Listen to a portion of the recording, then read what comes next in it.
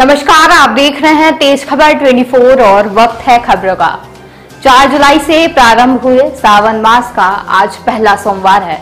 आज शिव मंदिरों और शिवालयों में बड़ी संख्या में शिव भक्त सावन के पहले सोमवार को शिवलिंग पर जलाभिषेक कर रहे हैं। सावन के महीने में भगवान भोलेनाथ को प्रसन्न करने के लिए भक्त तरह तरह के उपाय करते हैं।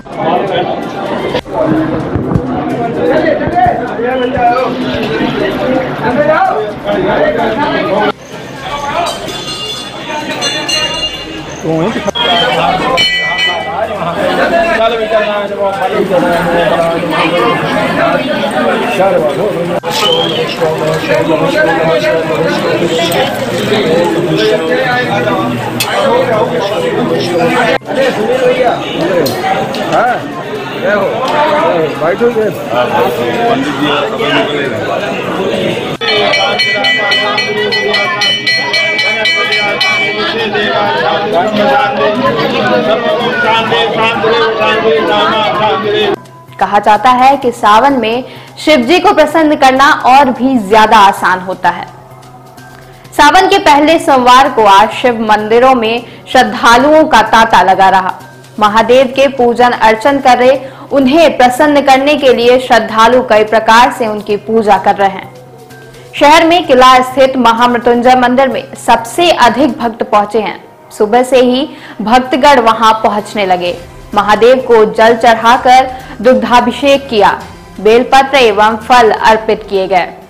कुछ श्रद्धालु महामृत्युंजय मंत्र का जाप करते रहे। इस प्रकार भगवान शिव को प्रसन्न करने के लिए श्रद्धालु पूरे भक्ति भाव से उनकी पूजा अर्चना में जुटे रहे। सावन में सोमवार को पूजन अर्चन का विशेष महत्व है। मान्यता है कि जब जगत नियंत्रण भगवान विष्णु पाताल में गमन करते हैं, तब जगत के पोषण की ज़िम्मेदारी भगवान शिव पर आती है और श्रावण मास प्रारंभ होता है। पौराणिक मान्यताएँ हैं कि श्रावण मास के दौरान भगवान शिव कैलाश पर्वत से आकर पृथ्वी पर विचरण करते हैं। श्रावण मास में शिव अभिषेक तथा पार्थिव शिवलिंग पूजन का विशेष महत्व माना गया है। रीवा शहर के महामृत्युंजय मंदिर, कोठे स्थित भगवान भोलेनाथ मंदिर, देवतालाब स्थित शिव मंदिर में विशेष पूजा अर्चना की जा रही है।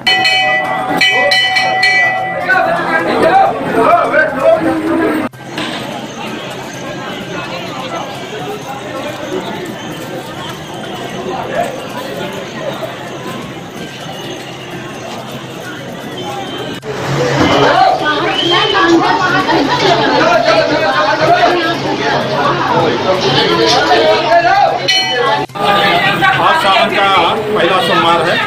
और भक्तों की भीड़ सुबह चार बजे से ही उमड़ पड़ी है।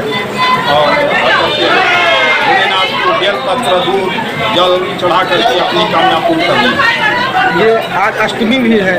मतलब आज अष्टमी भी है चार आज अष्टमी है। वह चीज़ का तो प्रभाव उतना ज़्यादा नहीं है। अष्टमी है शामिल का प्रभाव है और सोमवार का प्रभाव है। और प्रथम सोमवार भक्तों की भीड़ उमड़ पड़ी है और आकर के भगवान को चढ़ा रहे हैं, दूध चढ़ा रहे हैं, जल चढ़ा रहे हैं, अभिषेक और अपनी कामना संपूर्ण कर रहे हैं।